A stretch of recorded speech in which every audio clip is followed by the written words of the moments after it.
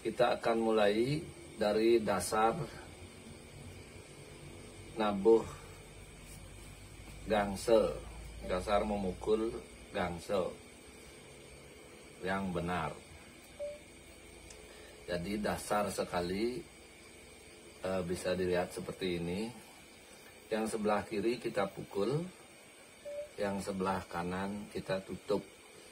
Walaupun tidak dipukul, kita harus tetap tutup yang sebelah kanan untuk memastikan, membiasakan kita menutup dengan benar. Contoh seperti ini. Nah, seperti itu. Jadi ini yang tutup, sebelah kanan, sebelah kiri yang mukul. Sekarang gantian, yang kanan dipukul, yang kiri ditutup. Nah, seperti itu. Tinggal ulang-ulang aja.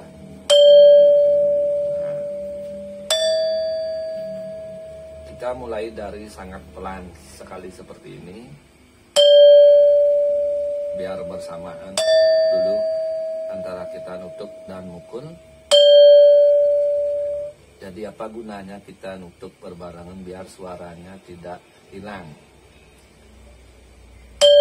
Setelah bisa kita agak ikuti tempo yang paling pelan.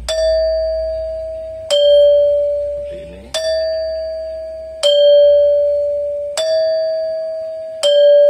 Jadi kesalahan yang umum yaitu seperti ini contohnya. Sebelum habis reng atau nada reng gender itu, suara gender itu kita sudah tutup. Nah, ini contoh pukulan yang salah.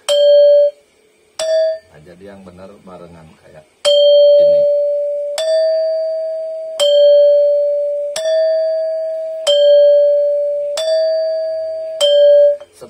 bisa seperti ini, yang paling dasar sekali, jadi kita ke dasar duanya yaitu kita loncat satu daun atau daun gener kita loncatkan satu biar jaraknya agak lebih jauh seperti ini.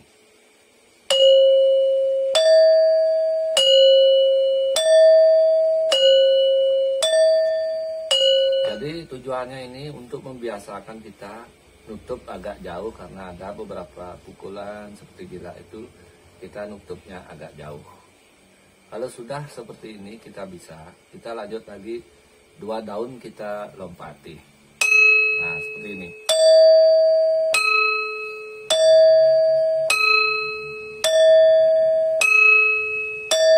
Nah jadi kalau udah bisa seperti ini, kita bisa masuk terus ke contoh lagu.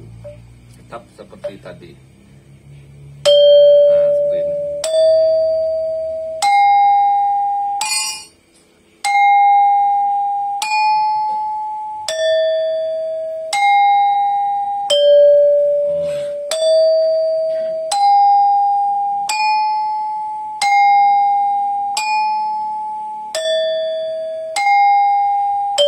Jadi tidak ada reng atau suara yang hilang.